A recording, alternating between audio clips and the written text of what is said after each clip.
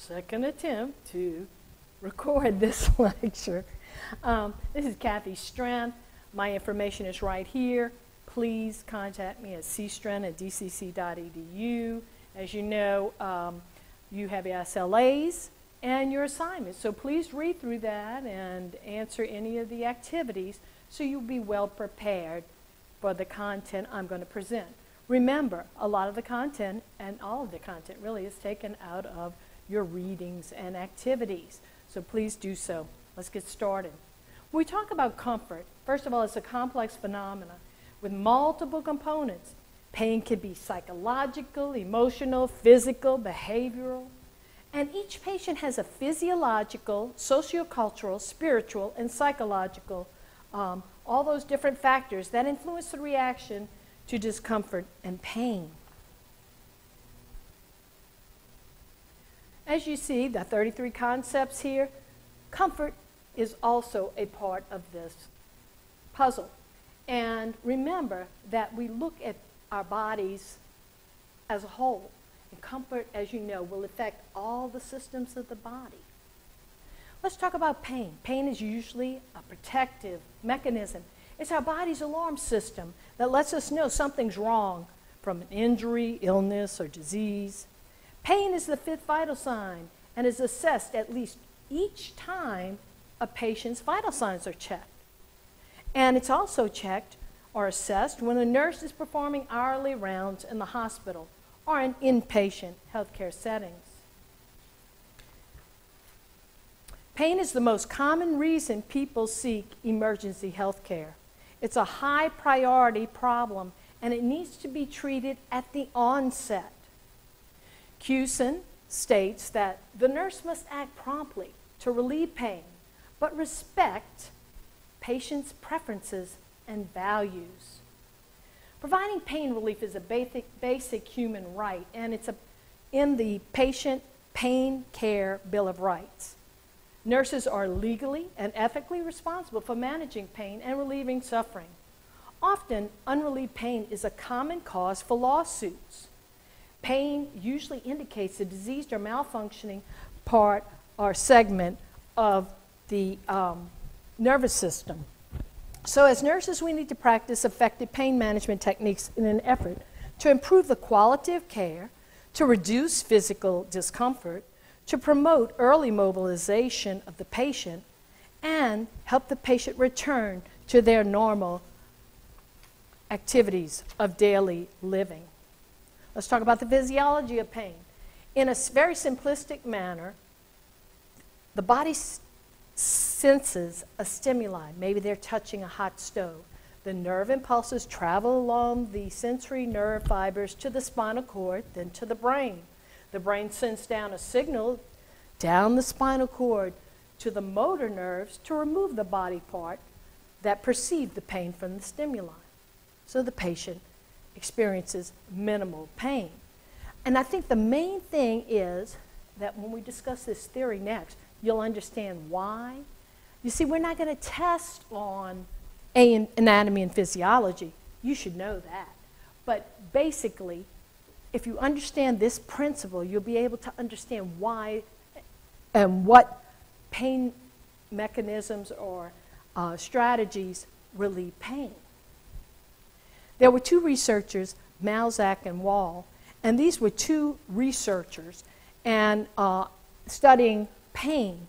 And it's the most widely accepted pain theory today. These two researchers stated that there are imaginary gates in the spinal cord that open when small peripheral nerve fibers are stimulated and it allows the person to feel or experience pain. It makes sense. If all the pain um, is sensed, it goes up, up the extremity, um, up the spinal cord to the brain, and from the brain on down to the area, to the motor, to remove the uh, body part that's being uh, experienced in the pain.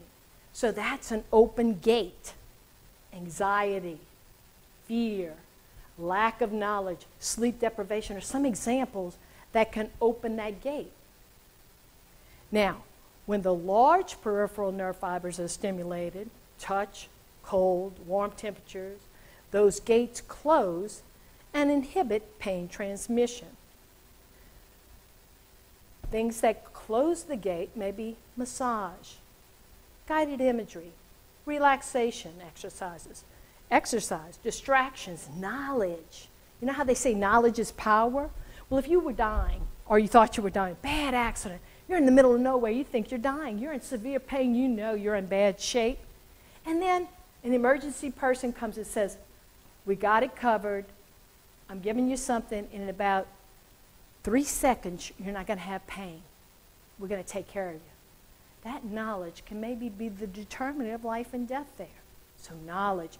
Cutaneous stimulation. You know, when your mom rubbed your bobo when you had it, hey, mom was right because she was stimulating those large nerve fibers and it closed the gate so you wouldn't experience the pain. So, these imaginary gates are in the spinal cord. So, it's kind of neat. So, the small fibers open that gate and the large fibers close that gate so I don't feel pain. Contralateral stimulation, I'll talk about that in a second, but anyway, contralateral stimulation. I have a cast on my leg, and it never fails, right? Everybody that has a cast, they all want to scratch underneath because it itches. Well, they can cause tissue damage, infection. It's not a good thing to do.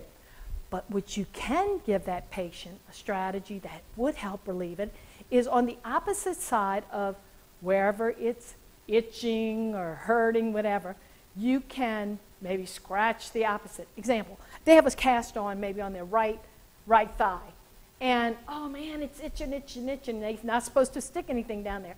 So if you scratch, gently rub that area on the opposite extremity, opposite calf, they get relief. And it's contralateral stimulation. I think that's neat.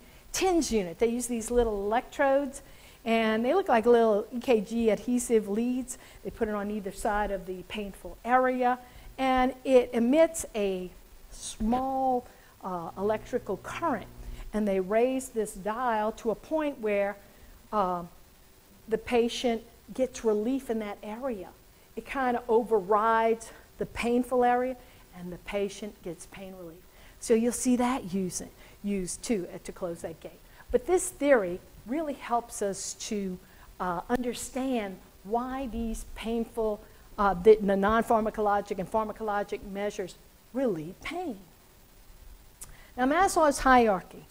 As you know, we have needs, and pain indicates an unmet need that demands attention. And um, if the pain is not relieved in any of these levels, uh, or if it is relieved, Comfort is experienced when each of these hierarchy levels are fulfilled. Definitions. Okay, they're in your handout. Uh, and they, two definitions were definitions of pain unpleasant sensory emotional experience associated with actual or potential tissue damage, and it's described in terms of damage. Okay, now the International Association of the Study of Pain defined this. And it's interesting, and it's possible. These are two definitions that you'll commonly see used. FYI. So, a patient has a really lot of pain. Man, they are really fractured and suffering and bleeding and having a really bad time. And uh, then you have a person, they broke a leg. Now, the whole premise of this is just because the person that was really injured badly had more tissue injury and damage does not mean that that patient will experience the greater amount of pain. You see, each individual responds to pain differently, and pain is pretty subjective. Now, those two nurses I talked about uh, that came up with that theory pain is whatever the person says it is, whenever they, the patient reports it, that is the most widely recognized and used um, pain definition. You see, pain is subjective and is experienced differently in each patient. So remember that. And this definition leads us to the gold standard of pain. Ta da! Remember that the patient's self report is the most reliable indicator of pain. Whatever the patient tells us, is what we should go by as far as pain relief. Very important. Types of painful stimuli we have biological, bacteria, viruses, And uh, they can cause pain, as you know, with the uh, coronavirus and that. Uh, mechanical shearing force, you know, when we slide that patient up, drag that patient on the sheets, or they, they slide down in the bed and that top layer of skin comes off, that's mechanical. Fractures, that's another example. Thermal is body temperature, right? Extremes in heat, extremes in cold can cause painful stimuli. Electrical, electrical burns, electrical shock. Chemicals, chemical solutions. Tobacco is a chemical, tobacco smoke. Acids, bases, lye. Maybe if the patient is undergoing radiation, that can cause pain. And these stimuli will cause will be the cause that determines your nursing diagnosis for pain. Now, as you know, our first step in any care is assessment. So we're going to interview the patient. They're going to give us some objective data. We'll get some objective data. And we're going to get, hopefully, a lot of subjective data. And that will be our first part of our assessment. The health history, what they tell us, right? They have chronic pain. They injured their back 20 years ago. They have chronic pain, um, injuries, maybe something that happened, whatever is in the history. And your health history, all this information is going to probably be in the doctor's and the physician's progress notes. So if you go there, you might get a lot more details and explanations. Look at the chief complaint. It's the patient's expression of pain by self report, right? Why did they come to the emergency room? Now, since some patients won't describe their pain unless asked, nurses must assess and ask questions to see if the patient is in pain. Okay? So you might have to ask them to describe it because some people aren't going to volunteer a lot of information. Use those open ended questions. Pain can also be determined by observations of behaviors in nonverbal patients. You see, we may have patients that are intubated, they may be aphasic, they can't speak, they may be unconscious, different reasons, right? Where we couldn't get any verbalization of their and information we need. So to quantify it, they came up uh, with a behavioral scale. I'm going to talk about that in a second. So we'd watch their body movements, maybe their facial expressions indicating pain. Maybe their teeth are clenched, they're holding that painful area, they're guarding it. You go to touch it and they kind of walk away or kind of pull away from them. They're bent over, they're grimacing and frowning. Maybe they have some changes or absence in, in vital signs. Some patients may cry, moan, they get restless elderly, depending on the cause, they can get confused or agitated. They may get real aggressive or make frequent requests to the nurse. The main thing is remember, when we're assessing a patient's pain, you really shouldn't collect an in depth pain history when a patient's experiencing severe discomfort. We may have to address it and then can obtain some of the details. The location of the pain is an important consideration. Where did the pain, where was the pain felt? Example, I have a patient that comes in complaining of chest pain. I have a patient that comes in complaining of knee pain. Which one would you, the nurse see first? Which one has the most likely um, possibility of being life threatening? Of course, the person with chest pain, right? Another way we can indicate the location is by radiating pain, noting if it's radiating, meaning that it goes from the point of origin to other parts of the body. It spreads or extends from this place or over the organ where the pain started. It's like when a patient has a heart attack. Some patients, it's kind of like we think of the sun, right? You had the round corona, and then you had those rays coming off. And radiating means it starts maybe over the heart, fifth left intercostal space midclavicular line, and then it goes from that part all the way up their arm, neck, back, or jaw, and that is radiating. It's over the area where the problem is and goes from there to other areas. That is radiating pain. Another way we can describe location is referred pain. And that's when it's felt away from the point of origin. Example, a patient that has a tubal pregnancy. They'll experience this severe pain in their shoulder. They come in, they're pale. Of course, their childbearing age. Their blood pressure is really the pits. I mean, they are in bad shape. Now, the problem is the pregnancy isn't in the uterus, it's maybe in the fallopian tube. And we got problems, okay? But wait a minute problem is over the fallopian tubes, right? It's not there. The pain is in their shoulder. And that is the thing with referred pain. The organ pain is often perceived in a remote area away from where the true problem is.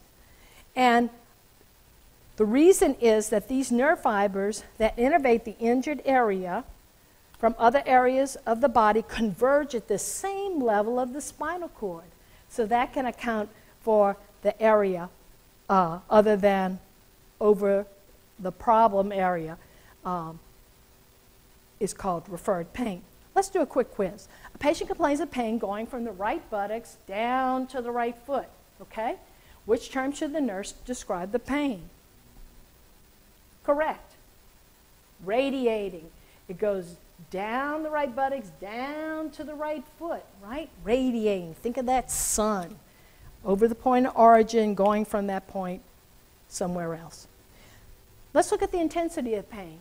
And it can be communicated easily and usually reliably on a pain scale. You see, it kind of gives us a objective tool that helps us all, all the nurses and healthcare providers, compare the level of pain on a patient. So the main thing is we use the pain scale that best fits the patient. You see, because you'll be amazed at all the different types of pain scales. Usually, agencies will use certain ones for certain types of pain. So, you want to use the, the main thing is use the same pain scale with the same patient.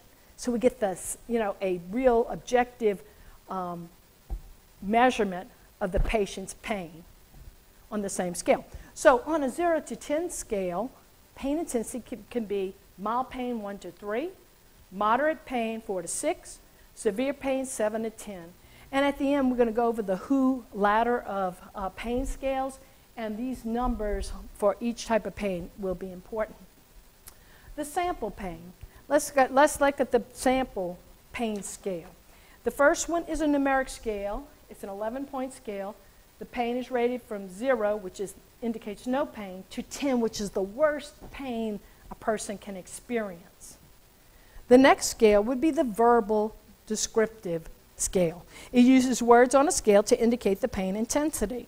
The degree of pain interferes with the patient's ability to function and usually with their activities of daily living. And that's a good indication of pain intensity. The next one is the visual analog. And I'm not going to put a pain scale and say which one is it. I just want you to know that there are different types so you'll be familiar because your agency will probably use some of these. Uh, so the visual analog is when the patient points on the scale according to their perception of the severity of pain. So you might see that one also. A co very common one you'll see used is the Wong-Baker face scale. And uh, you'll see commonly used in most of the agencies here. Um, and it is on page 169 of volume one of your readings in the figure 3-7.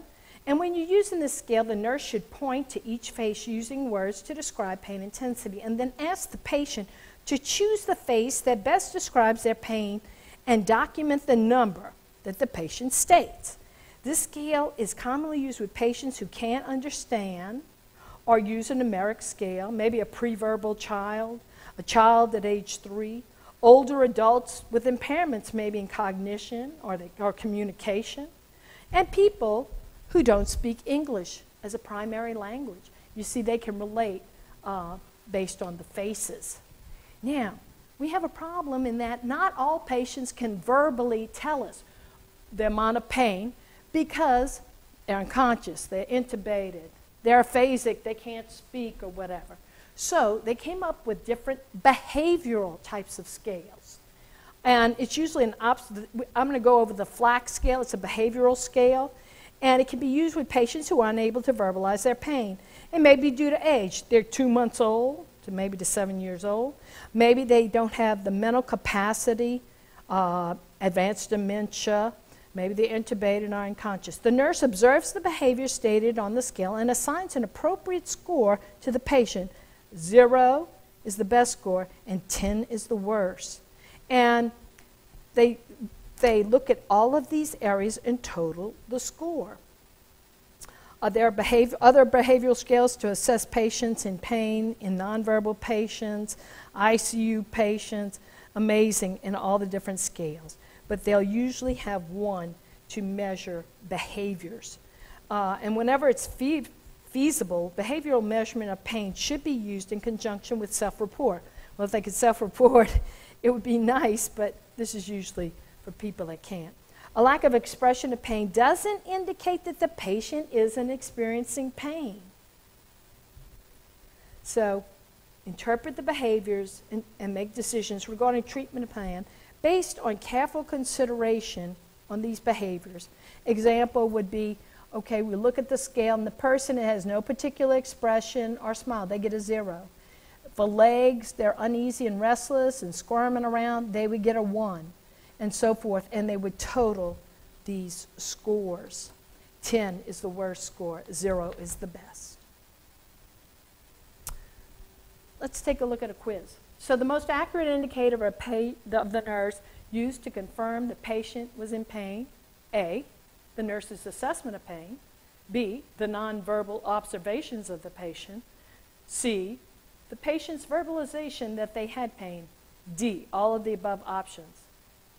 The answer is C. The most reliable indicator of pain is the patient's self report, right? So C is the correct answer here. Let's talk about the quality of the pain. Descriptors are used to describe the depth or type of pain. And there are many descriptions. They may say it's sharp, it's dull, it's um, uh, dull, stabbing, crushing, tight, burning. So don't go tell your instructor, oh, my patient's in pain. Well, what was it on a scale of zero to, I don't know, I didn't ask. Was it stabbing, burning, sharp, dull, blah, blah, blah? Oh, I didn't ask. And your provider is going to want all, these all this information. So make sure you assess pain uh, with using all this content before you actually uh, call, you know, uh, you know, call for uh, assistance or you would call a provider as a nurse. Time of onset. When did it start? How long did it last? How long does it last? Constancy. Do, do they have any pain free periods? When? How long? So, all this info data will be helpful in helping to address the pain by the provider. Let's talk about the pattern, the pattern of pain. When did it begin? Or did it start? When does or did it start? Uh, maybe it's all the time. Duration. How long have you had it? How long does it last? Well, it comes on, and, and once a month on this day, I always have it. Constancy. Are there any pain free periods? No, it's constant. When? How long? This has been going on for six months, and I can't get relief. I can't get comfortable. So we need to ask this information. Precipitating factors, activities that preceded the pain. Well, I was working out in the yard and I was hoeing the fields, etc. Physical exertion, I was working out the gym. Environmental factors, heat, cold, humidity. Welcome to New Orleans. No. So, anyway, all those can be precipitating factors. Physical or emotional stressors. Yes, I got the phone bill. That would be a stressor. Uh, strong emotions. Yeah, only when I get upset with my daughter do I experience these headaches, right? Alleviating factors. Describe anything the patient used to alleviate the pain.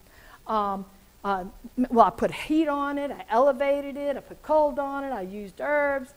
Well, you know what? I got up and I went to the store. Distraction, rest, medications. Was the pain relieved or did it become worse? And we're going to talk about that unrelieved pain soon. Associated symptoms. Other symptoms that occur before and after the pain like, oh, I get real nauseated, vomit, and dizzy. I have to lay down for two hours in the dark, like with migraines and that kind of stuff, if, it, if it's associated with this pain experience. Uh, what effect did it have on your activities of daily living? I can't sleep. Sleep deprivation is a big problem. Our patients have to get that one and a half hours of REM sleep. Otherwise, you know, sleep deprivation can increase pain perception, etc. Appetite. It would probably increase my appetite, right? Uh, no. Um, a lot of times they'll decrease patients' uh, appetite. That's the least of their worries. They're just trying to get pain relief. Or I can't concentrate. I can't work when I have this. Marriage, maybe it's affecting their marriage. Driving, I can't function. I can't go to work. And that is a big issue, especially nowadays.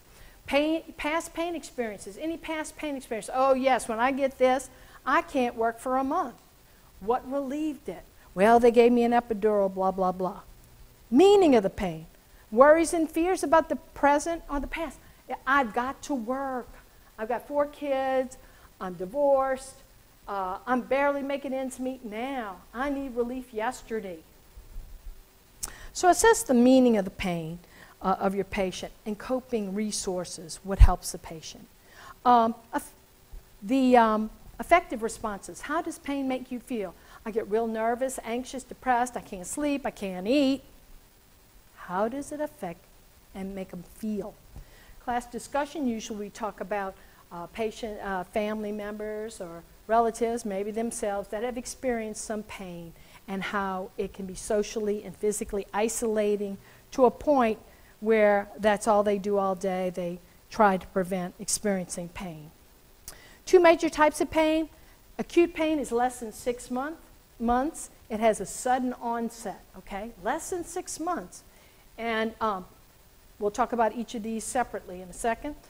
Chronic pain is greater than six months. It interferes with their activities of daily living and their functioning. So that's a big problem.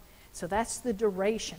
Acute pain, act, it acts as a warning sign. Great, you know, our body is so awesome in that it is, has all these built-in things. And this is a warning sign. Hey, we need to, you need to take care of this yesterday. It activates the sympathetic nervous system, so you're going to get that increased pulse, respirations, pupils are going to dilate. I might get pale and shunning that blood to my heart for fight or flight. So I'm going to see a lot of different indications that they are in pain. And it usually results from an injury. Maybe they had surgery or inflammation. Some of the responses they will have are increased pulse, respirations, blood pressure, dilated pupils, sweating, they'll get pale, and they get anxious. Behavioral signs, they may just get restless, you know, especially your demented patients or patients uh, maybe that aren't cognitively intact, but they'll start getting restless, they get confused, especially with infections. They get, can't concentrate, they get very apprehensive, and overall, they will get in distress. So we need to be aware of this, these sudden changes in behavior also.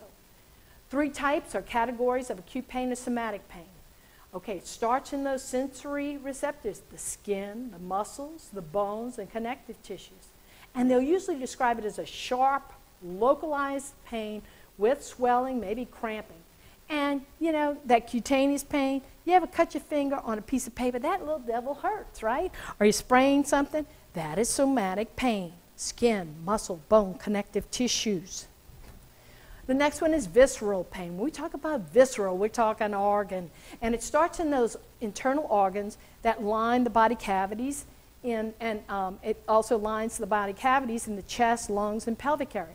And they usually describe this this dull, deep, aching pain.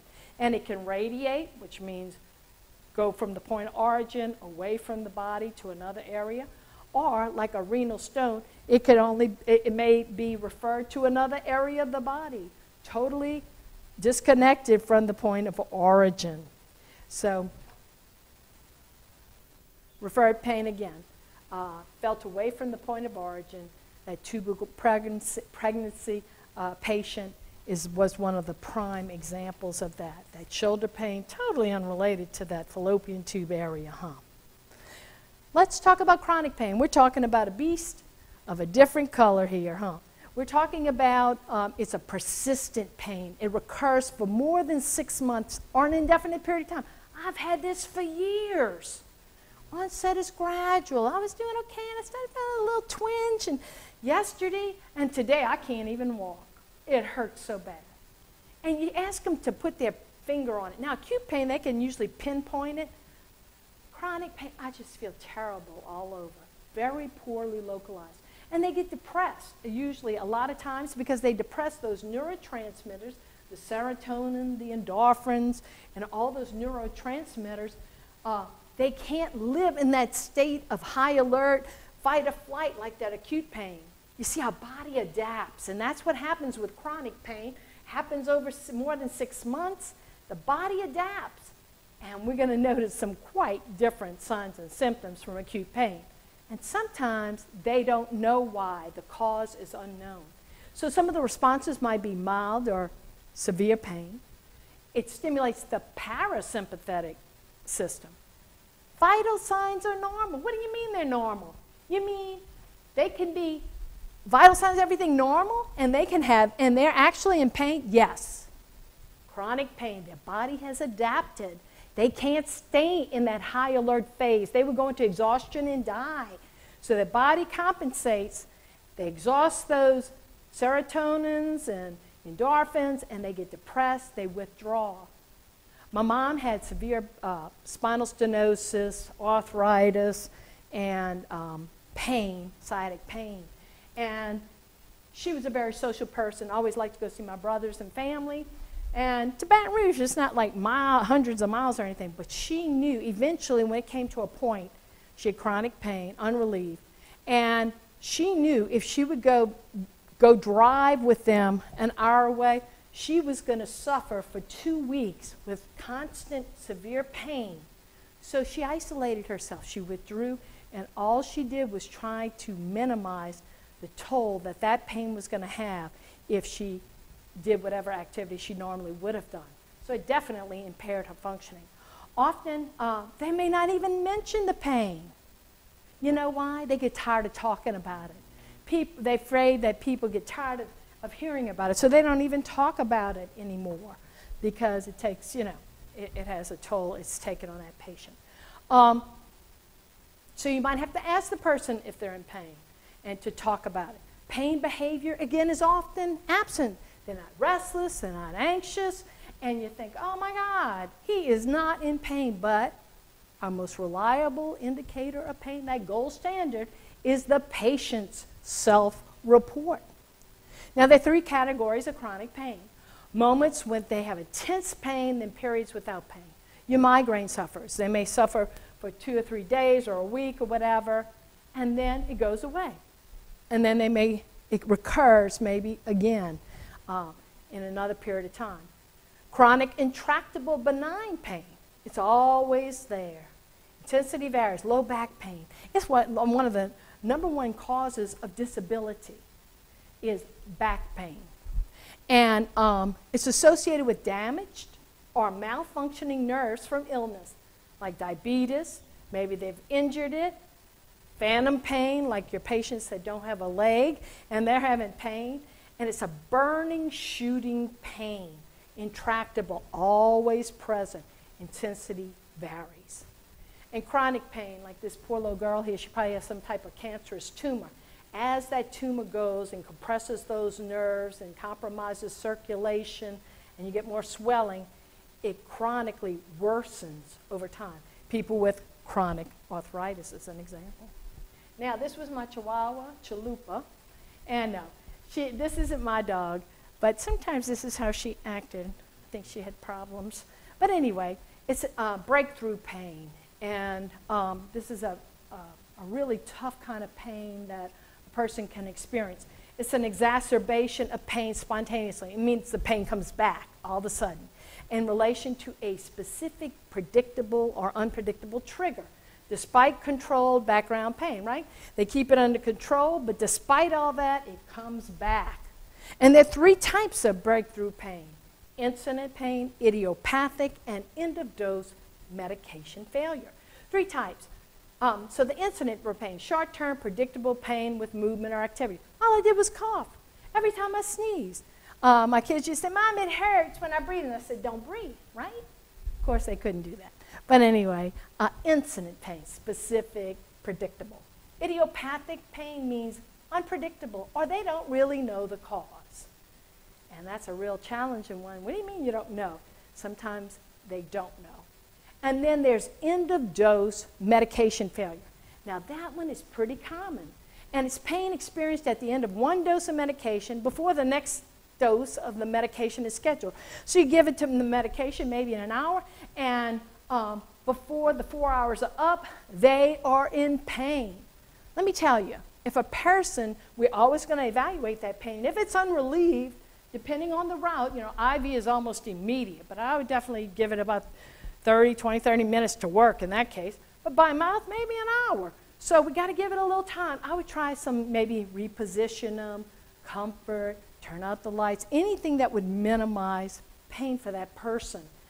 In the long run, I would reassess always. Unrelieved pain can indicate ischemia, or maybe they're going to lose that leg if I don't, because they don't have a pulse. So I'm going to reassess that area. But if I can't find any reason, I might have to contact the physician, and they may need to order uh, for the, uh, medications for the time between those doses. They may have to shorten them or increase the dose. Sometimes they'll put them on a 24 hour pain medication regimen. But this is a very common type of pain, so read about that. Other types of pain, central pain, that's damage to the nerves in the central nervous system from a stroke, multiple uh, sclerosis. It could be these are nerve pains. Nerve pains are really hard to treat, and it's often a constant pain. And they describe it as burning or pins and needles or an aching pain. A lot of you patients that have poor perfusion to those lower extremities or an area, they'll often have this nerve pain. You'll see it a lot in your diabetics. They're very prone to this. Um, so, central pain. Phantom pain, okay? It means it's not there, right? The pain is felt in the amputated limb or body part. Now, wait a minute. They don't have a leg. What do you mean they have pain? It's usually a recurring pain. It's a shooting, stabbing, squeezing, throbbing pain. And if prior to uh, that surgery they were in un- uncontrolled pain, the likelihood of them experiencing this is pretty high. And it's associated with neurological activity in the brain that once was connected to the amputated part. The body knows that it, it has to re- rewire because there's no leg there, but it's letting us, letting that person know there's a problem. Yeah, there's a problem. They don't have a leg. So there are different therapies they will use for that. But that sharp, shooting, burning pain, like an electric shock, a tingling going down, traveling along that nerve, uh, it's usually chronic and very difficult to treat. I want you to, uh, and I know you're saying, Miss Strand, the book says this. In Berman, your textbook on page 1089, box 46 1, uh, paragraph 3, no, not really. Uh, you'll notice in the hard copy of book, chronic pain lasts more than six months. But Ms. Strength is, we're going with chronic pain as being defined as lasting more than six months. Factors that affect pain, ethical, uh, excuse me, ethnic and cultural values affects reactions and expression to pain. Example, Native Americans, they may be very quiet and less expressive, you know, they may not be moving around or thing. They tolerate the pain until they become disabled. And it's part of their culture. Chinese and um, other uh, Northern Europeans, they may be silent. Maybe it's part of their culture to be strong and stoic and not express pain. So you may have to observe the, those behaviors, or you might have to ask them and explain that it is not a weakness. If they are uncomfortable, you can give them something uh, Japanese and Northern Europeans, they can be stoic. So again, remember, ask these patients because they may not volunteer the information. They are in pain due to cultural uh, type of um, practices. So you have to assess the patient's use of traditional remedies, practices, herbs, pharmacologic treatments. And their ethnic background and cultural heritage influences the patient's reactive or expression to pain. Uh, some patients, if you've learned in your culture you should cry and moan and complain kind of thing, not necessarily complain, but report pain and that kind of thing. Uh, in that culture, you'll probably have, the, those patients will probably do the same because it is acceptable in their culture. Um, so uh, I don't want you to memorize the Japanese do this and, the, and the, they do that. I want you to know that different cultures may have different ideas on pain relief. And, um, um, and again, the way they express it. So we need to assess the patient's use of these remedies. Um, okay, let's go to cultural background here. Um, in some cultures, in, in, some, in the East and African cultures, um, self infliction of pain is a sign of mourning or grief. And um, in, other, uh, uh, in others, it may be a tolerance of pain can signify their strength and endurance. Environments, unfamiliar environments, hospitals, you know, their alarms, unfamiliar routines and lights and activities and disruptions. We want to bundle our care, guys. We want to do what we need to do and to give that patient one to one and a half hours of uninterrupted um, sleep so they can get that REM sleep and not have the experience of pain um, that they may, um, so that we can minimize that effect on the patient. And previous uh, experiences with pain, if they've had previous experiences, uh, they may, uh, you know, express their pain in a different way uh, or a similar way than they've experienced before. If they have support people, great. Because, uh, but if they don't have a support network, we can help modify the patient's reaction to pain, distraction, activity, um, versus isolation, and that kind of thing. Um, let's move on. Psychological assessment. All pain holds significant meaning for the person experiencing it, right? We as nurses need to remain objective. Oh, yeah, he, he's a frequent flyer, they used to call him, if they were coming and you talk in the Emergency Room Nurses Association. Oh, yeah, he came to Baptist yet last week. Yeah, he was, he was at EJ, he was at LSUMC, whatever. So, but objective. Remember, advocate for, pro, uh, for proper pain control. Quick quiz when a smiling patient complains of discomfort, um, which statement by the nurse demonstrates an understanding of pain? So, which one would, uh, which uh, option? A, chronic pain is psychological in nature. No, it can be psychological, it can be emotional, behavioral. That's not all true. Uh, patients are best judges of their pain. You better believe it. That's the golden standard.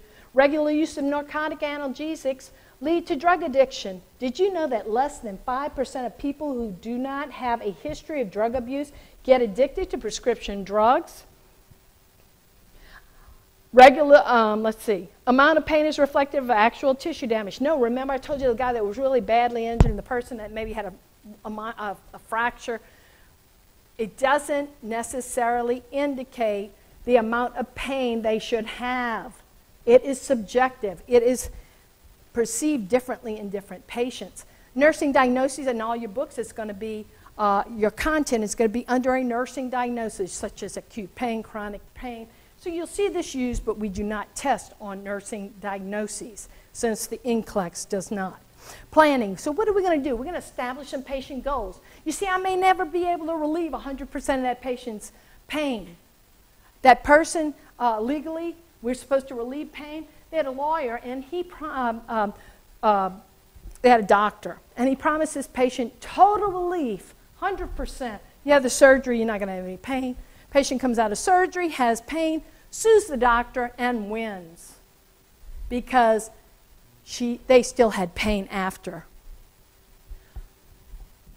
State the facts. Identify nursing interventions for pharmacologic, non pharmacologic, and pain relief measures. Uh, and identify care priorities according to the patient's needs, guys. Um, so, what are we going to do? We're going to prevent pain immediately.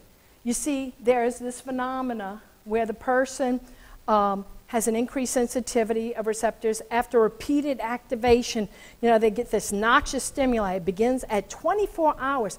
Unrelieved, persistent pain changes the structure and functions of the neurons in the system. And that prolongs and intensifies the pain experience. And it causes this wind up phenomena.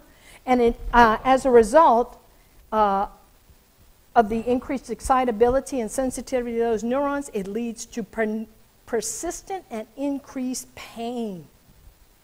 24 hours, that's not a lot. And you'll notice in the book they have all the different terms, and in your readings, you may want to take a look at that uh, of how those terms are defined so you can use it appropriate in your charting, appropriately in your charting. Remember, if we don't address pain uh, under 24 hours, uh, immediately It could cause abnormal nerve functioning and cause irreversible damage. Some nursing interventions choose an appropriate pain control option. Deliver those nursing interventions in a timely, logical, coordinated manner. So, nursing interventions, non pharmacologic and pharmacologic. Non pharmacological in interventions teach them the importance of good sleep hygiene. Remember, remember, sleep deprivation will open that gate, and boy, they are going to have more pain, and it's probably not going to be relieved or take more medication. So, we want them to have good sleep. Environmentally, we want to limit the noise, maybe turn out the lights, maybe have uninterrupted time for an hour and a half for that patient to get that good REM sleep so they don't get sleep deprived. Psycholo- psychosocially, laughter, humor is a very positive thing to close those gates. Positive attitude, self care, learning how to take care of themselves, play games, it's a distraction. Remember when uh, Mr. Keller was talking about his wife and she was having bad pain, and then the daughter came there with the baby, and she stopped complaining. She was playing with the baby. Distraction. Interacting with a pet. Pet therapy, they use it in the nursing homes and many facilities, releases those endorphins, and that decreases pain perception. Spending time in nature, just getting away, changing the channel, so to speak. Go watch TV, go read a book, interacting, volunteering, all these different things can definitely play a role, non pharmacological, massage therapy, yoga, Thai, all these different relaxations, acupuncture, are non pharmacological interventions. And something to just, um, just FYI, is that you'll see these patients, four hours, man, they're on that buzzer, they want their pain medicine yesterday. And you think they are drug seeking when actually they may be relief seeking. See, maybe the medications and the interventions we're using aren't giving them sufficient relief. So it's something to think about. So, pharmacologically, what are we going to do for these patients? There are three classifications of drugs uh, for analgesics for pain. The first one are the non opioid analgesics, or they call them the NSAIDs. Yeah, um, uh, and it's commonly used to control pain uh, and they can be administered by IV, oral, intraspinal, transdermal, fentanyl, transmucosal, um, subcutaneous. They'll use epidurals. And um, uh, these uh, also can help with patients, especially with chronic um, conditions. The non opioids, uh, first group, uh, the analgesics, antipyretics, be careful with the Tylenol. You want to teach them to read those labels, adhere to the directions. Sometimes they're taking plain Tylenol and they're taking a medication that has Tylenol plus an analgesic in it. And as we know, FYI, Tylenol is toxic to the liver and toxic to the kidneys. And with high doses, it could actually um, damage those organs. So no more than two to four grams of that Tylenol. NSAIDs, those are the anti-inflammatory anal analgesics, antipyretics. And the most common one is aspirin, ibuprofen, naproxen. Um, and remember, we still have to know those side effects. Aspirin prolongs your bleeding, it causes GI irritation, and they can actually experience GI uh, bleeding. So, and if you take too much aspirin, they'll get ringing of the ears, but it's also ototoxic. So, watch for that. Opioids, okay, and these are your maximum pain inhibitors, and uh, they have the maximum pain inhibition. Morphine is your gold standard. And the mixed agonists, antagonists, they act like opioids. They relieve pain uh, when they're not taken with any other pure opioids. And they shouldn't be taken uh, with full agonist meds uh, for greater than two weeks. And they can cause withdrawal. And these are really potent. When they have severe pain, the opioid an- analgesics that they will use are hydromorphone, morphine, fentanyl, meta, uh, methadone, and they bind with the peripheral and central nervous system receptors and relieve pain. Most, this is the most potent class of your uh, pain relievers uh, when all the other measures have failed. Do know that when you're taking, uh, when they're taking um, these opioids, these, the care of this. Remember, they're CNS depressants, and it causes respiratory depression. So if their respiration is less than 12, you may not want to give the medications. If they're over sedated, you can't wake them up. They can't answer questions because they keep falling asleep. They're probably over sedated. I might hold and question that. Nausea, vomiting, urinary retention, sexual dysfunction, and constipation. Um, assess for their level of sedation. Pasero, that one of the nurse researchers that did a lot of research in nursing on pain, uh, she developed a scale, and that is on page 171 in volume one. Ask the patient what they ate for breakfast. If they can't stay awake long enough to answer questions, they're probably over sedated, and you may need to hold a question the administration of that analgesic. Uh, they'll also use co-analgesics to treat conditions other than pain, but have analgesic effects. And they usually potentiate the effects of the pain medications, making them more effective or reducing the other discomforts or side effects of these analgesic drugs. Antidepressants, why, why would they use that? Well, if they're depleted in chronic pain, it will elevate, uh, decrease the uptake, reuptake of serotonin and the uh, neurotransmitters that cause depression, right? And if I'm not depressed, I'm probably not going to have a lower pain perception or higher pain perception. Uh, anticonvulsants, they'll use those medications uh, to block uh, and inhibit um, some of the pain, uh, pain receptors in the GABA uh, area. Uh, antihypertensives, uh, they will modulate ascending pain sensations. Your antipyretics, like hydroxyzine, prevents the itching, relieves itching, nausea, and vomiting, which is commonly caused by a lot of these narcotics. Corticosteroids is going to reduce the um, inflammation and treat um, nausea and vomiting. Local anesthetics, again, to prevent that transmission uh, of the pain signals. And the WHO is the analgesic ladder. These are levels of pain, and your doctors will usually use these levels to determine what they will give for what levels or ratings of pain. So take a look at that and make sure you know mild is 1 to 3 and so on. Ask the patient if they relieve the pain. Remember, always reassess that pain uh, within 30 minutes to an hour, depending on the route, and document, and hopefully it's improved. Look for those behavioral signs of unrelieved pain. Use that pain scale. And depending on the route and the value and the patient's level uh, of pain, uh, prior to your intervention, uh, you want to make sure that it's working on the patient. Remember, if pain is unrelieved, reassess that patient and the plan of care. I've hoped you enjoyed this. If you have any questions, remember cstren at dcc.edu. Thank you.